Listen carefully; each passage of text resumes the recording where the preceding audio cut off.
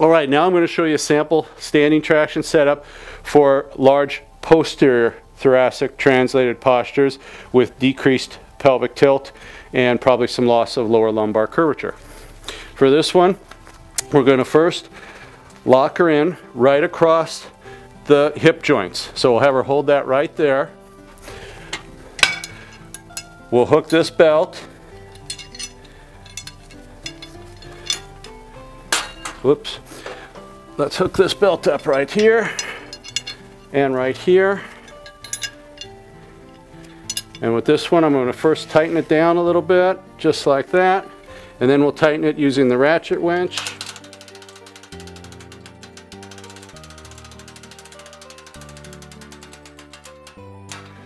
I'm going to go up just one, one level.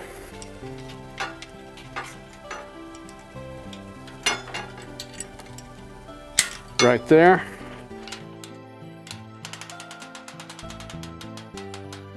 And we got that tight. All right, so now we've got our pelvis locked in with this first belt tightened down right across her anterior hip joints.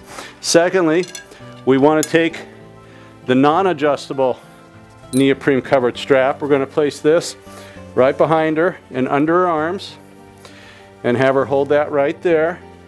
And we want that pretty much right into the, oh, the mid to lower thoracic region. We're going to bring out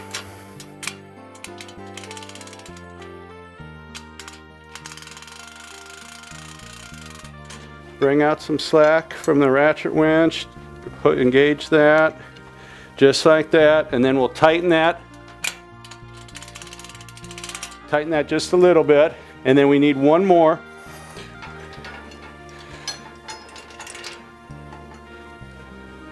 For this one, we're going to let her let go of that one now, that should stay. And I'm going to place one right across her shoulders. Just like that and ask her to hold those right in place there. This one, we'll raise our back, slide.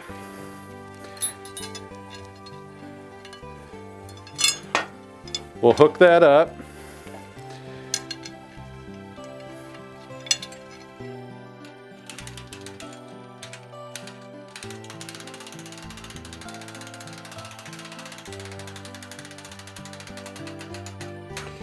We'll get that in place. Now, for this setup, we're going to use a large traction block.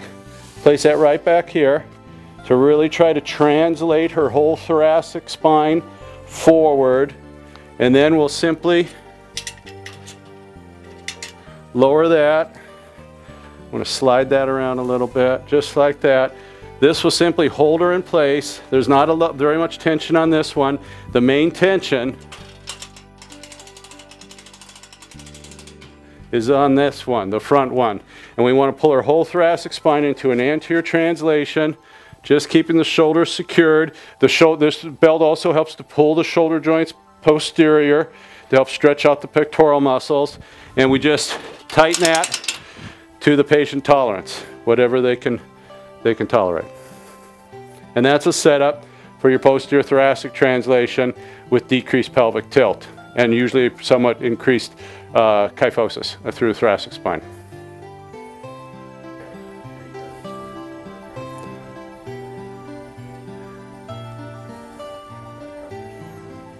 Now, we do have available, this does not come with the unit, this is an accessory that can be purchased to go with the standing unit, but for the setup that I just showed you for the posterior thoracic translation, some patients will complain with the strap coming across their lower neck area that it, that it in, inhibits their breathing. And so to, to be able to uh, avoid that, we do have what's called our four-way belt. To use this one, we simply place the unit across the patient with the, the V section pointing downward.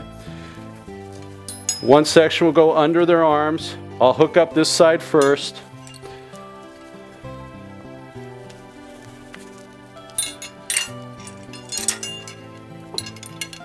And then we'll hook up this side. And we can just hook the D-rings right in there.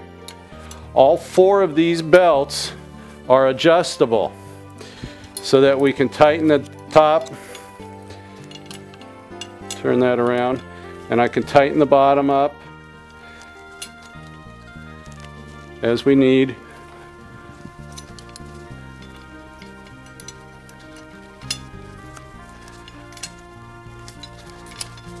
Right there.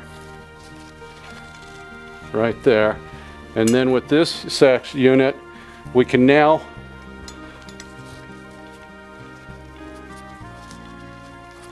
hold her back in there.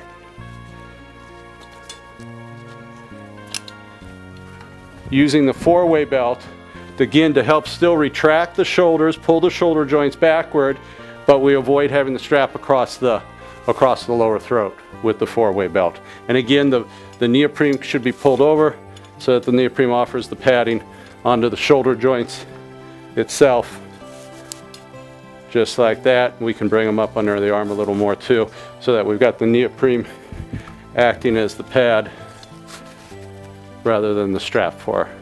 And that's the use for the four-way belt.